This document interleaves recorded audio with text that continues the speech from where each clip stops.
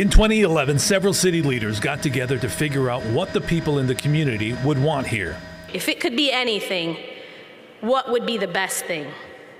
There was a resounding number one, and that was a hospital.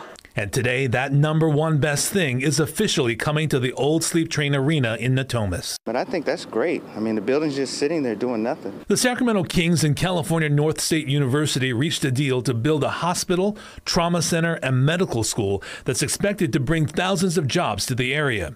The university released these renderings of what the complex would look like. Another healthcare campus for the city of Sacramento thousands of high wage jobs, innovation center. I know that the hospital and, and, and the teaching facility, that's just going to be the beginning of this. Yeah, it's promising, you know, the construction jobs and everything that that kind of stuff brings. Hospital, 3,000 jobs, they're not going to be low paying jobs. They're probably going to be very good paying jobs. So that's fantastic. Some people who live in the area say it's about time.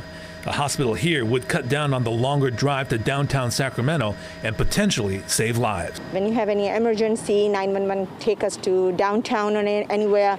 So it's hard for the family because of that crucial time. So it's really very nice to hear that that they are finally opening a hospital in this community. The King's owner saying finding the right partner with the right project was crucial. We wanted to do something that would establish our goal, which is to make this the area of the future, the city of the future, the mega region of the future. Uh, anytime there's a place for university students to train and uh, bring more medical uh, uh help to the area is just amazing. That's great for the uh, local uh, economy, great for Sacramento, great for the taxes, and hopefully they can build more infrastructure around here.